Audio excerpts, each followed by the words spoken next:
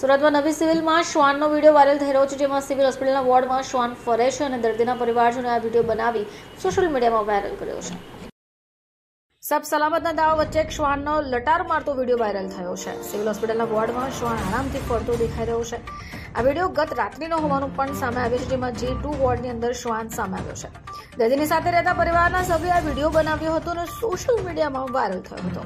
દોઢ વર્ષના બાળકના મૃતદેહને અંતિમ સંસ્કાર માટે સ્મશાન ભૂમિ લઈ જવા માટે એમ્બ્યુલન્સ આપવાની મનાઈ કરી હતી, ત્યારે આ મૃતદેહને રિક્ષામાં જ સ્મશાન ભૂમિ લઈ જવાની નોબત પડી હતી.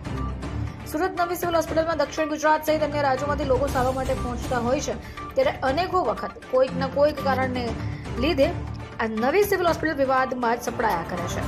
Bureau report, channel eyewitness, Surat.